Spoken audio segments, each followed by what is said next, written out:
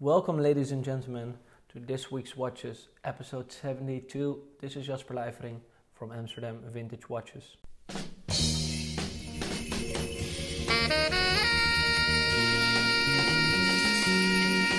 Our dear clientele is here once again on our YouTube channel, and we're here to show you watches in our this week's drop. However, I have to be apologetic towards some of our viewers. To be precise, 15% are international viewers, and therefore we decided also to do the this week's watches in my native language in Dutch. So very sorry for the people that are watching from overseas. I hope you can understand our decision. Nu over naar het Nederlands. Zoals jullie weten presenteren wij hier zes stuks van onze This Week's Drop. En daarnaast brengen we nog drie iets regulierdere modellen erbij. Die zeker ook hun aandacht verdienen, maar die we iets vaker binnenkrijgen. Laten we gaan kijken. Vergeet bijna helemaal mijn eigen horloge te laten zien. Het horloge wat ik op mijn pols heb deze keer is een 16550. Het is de eerste evolutie van de originele Explorer 2 die gelanceerd werd in 1971 en gediscontinued werd in 1984. Vanaf 85 kennen we de, 8, uh, de 16550 als de Explorer 2 met de cream dial waarbij de witte wijzerplaat verkleurt in deze schitterende bruin-geelachtige kleur. Hij komt uit 1988. De waarde van het horloge is 19.500 euro. Klinkt misschien wat steep, maar het is echt een full collector set. Alles zit erbij. De conditie van het horloge is mooi bewaard gebleven. Daarom denk ik zeker dat het het waard is. Aanvullend op onze zes bijzondere stukken hebben we drie schitterende Rolex horloges. Van 31 mm naar 34 mm tot 36 mm. Te beginnen bij deze Dames Oyster Perpetual zonder datum. Het horloge dateert uit 1991, referentie 67480 met een schitterende zwarte wijzerplaat, tritium hour markers, uh, dots bij de hour markers, tritium inleg in de wijzers en de conditie is echt perfect. 3500 euro is de prijs. De 31 mm wordt ook wel genoemd de midsize of boys size. Dus zowel voor dames als ook voor heren, de wat kleinere heren of de wat jongere jongens. Terwijl vandaag de dag zien mensen 36 mm al bijna niet eens meer als herenmaat. En zo hoort het niet te zijn. Bijvoorbeeld de Erking, een perfect model voor zowel een man als een dame. We hebben hier een schitterende uitvoering, referentie 14000 met een witte wijzerplaat. De plots zijn ook prachtig creamy verkleurd. Het horloge dateert uit de mid jaren 90. De waarde van dit horloge is 3800 euro, dus net iets kostbaarder, uh, eh, 300 euro om precies te zijn, dan de 67480. En ook uh, net iets groter, 34 mm.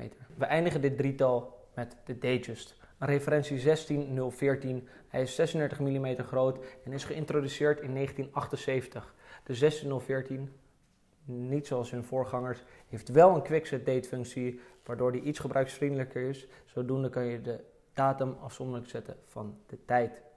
Geen pipe- en wijzerplaten meer die we op de voorgangers zien, maar in dit geval een schitterende zwarte wijzerplaat met een Roman Minute Track of Hour Track in het wit. Die witte tekst zien we terug op de wijzerplaat, waar ook de kostspecificatie staat en uiteraard Oyster Perpetual Datejust. De band is super strak, in dit geval een Jubilee bracelet. De twee voorgaande waren voorzien van die Oyster bracelet en de waarde van dit horloge is 4650 euro. Oké, dat was een hele mooie Datejust, maar we hebben er nog één toegevoegd aan de drop. En deze is net iets specifieker. Een referentie 16220, dus al met saffierglas, maar met een hele bijzondere wijzerplaat, zogenaamde crash dial, waar we de Saudi soort zien en het logo van King Fahd. Dit horloge is in 1989 gecommissioned voor hem en we zijn blij dat we zo'n verzamelwaardige datejust kunnen aanbieden samen met de service papers. Nogmaals willen we de historische waarde van dit horloge benadrukken. Komt terug in de prijs 6900 euro. We gaan over op de toolwatches. Nu een Rolex Sea Dweller referentie 16600. Dit is de Sea Dweller hoe die hoort te zijn. Yes, nog steeds gewoon 40 mm horloge wat we hier hebben komt uit 2001, is voorzien van een originele doos, papieren, tekst, bla bla bla. Belangrijker nog, het horloge zelf is in uitstekende staat en heeft de juiste maatvoering. Dit is een uitstekende toolwatch met datumfunctie, maar zonder die Cyclops, mocht je dat niet mooi vinden. Iets wat je terugvindt in dezelfde periode van de 1616 en die Helium Escape Calf. Dat rondje aan de zijkant van de kast. Schitterend horloge op een Oysterband. Prijs is 7900 euro. Zoals jullie misschien wel weten hebben we een zwak voor de Yachtmaster 1. We hebben onlangs de referentie 16622 verkocht en nu een iets recenter model 116622. Het mooie aan dit horloge vind ik die lichtblauwe tekst op die creamy grijze wijzerplaat. Natuurlijk met die platina bezel en verder die kleine lichtblauwe details wat je ook terugvindt in de wijzer. Het horloge is een volledige set. Uh, de vraagprijs van dit horloge is 9500 euro. We blijven in de toolwatch sector, alleen nu gaan we wel vintage. In 1968, 55, 13 hebben we hier met de meters first. Meters first wil zeggen dat de depth rating van 200 meter, 660 feet, zoals ik net zei, staat aangegeven op de wijzerplaat. En niet andersom, dus niet 660 feet, 200 meter. Dit is een, uh, een configuratie die niet heel lang uitgevoerd is. Nadat ze de Classic Guild Dials hebben gediscontinued in de mid jaren 60, zijn ze hier nog maar enkele jaren mee doorgegaan. Wij hebben een schitterend exemplaar uit 1968 met het originele tritium zowel in de wijzerset als op de wijzerplaat. De prachtige MK3 bezel die licht verkleurd is, een Superdome crystal, de folded oyster bracelet ook nog in goede staat, de originele band zit er nog op. Ja, dan kan je wel begrijpen dat dit horloge net iets meer dan 12.000 euro kost. En we sluiten presidentieel af. Twee Rolex Day-Dates, eentje in geel goud en eentje in wit goud. En we beginnen als volgt de 18238. De geel gouden met de Double Quickset Date Function.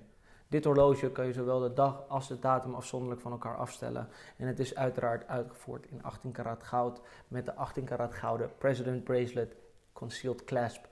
Een mooiere band bestaat er misschien niet. In ieder geval het gevoel wat je krijgt als je dit horloge om hebt, dat is ja, bijna niet uh, te evenaren. En zoiets krijg je alleen met zo'n schitterende D-date als dit. In dit geval eentje voorzien met de zogenoemde Tapestry Dial. Het horloge dateert uit 1992 en in deze periode zagen we deze wijzerplaat wel vaker. In het Nederlands ook wel de lamellenwijzerplaat genoemd. Ik moet nog een beetje wennen aan de Nederlandse termen. Anyhow, vraagprijs voor dit horloge is 13.800 euro. We hebben ook de witgouden variant van twee jaar later in 1994. Wederom dubbel quickset, maar nu aangeduid met de referentie 18239. Silver Grey dial, schitterende exemplaar, kost wel 1000 euro meer. Waarom? Simpelweg omdat witgoud net iets zeldzamer is. Volledige prijs is dus 14.800 euro. En we zijn toch wel benieuwd, waarvoor zou jij gaan als je een D-Date koopt? Witgoud of geel goud? Laat het achter in de comments. Oké, wat betreft de horloges, uh, onder de 5000 euro hebben we een mooie selectie kunnen neerzetten. Twee met een zwarte wijzerplaat. We hebben de Datejust gezien, 16014, 36 mm. En een veel kleinere maat, de Oyster Perpetual. Geen poespas, gewoon het horloge 31 mm. Kostte 3500 euro. Dat was de meest betaalbare Rolex. En in het midden vonden we de Air King 34 mm met het schitterende 3130 kaliber. Waarde daarvan is 3800 eh, euro. Daarnaast hadden we mooie toolwatches. We brachten jullie een Sea Dweller in full set. Een horloge, eigenlijk hoe je een toolwatch hoort te hebben. De Yachtmaster is een guilty pleasure van ons. En we zijn blij dat we er weer eentje in onze winkel kunnen toevoegen. Daarnaast de Meters First 5513 blijft altijd een favoriet van mij. De No Date Submariner met het plexiglas. De D-dates waren present in het wit goud.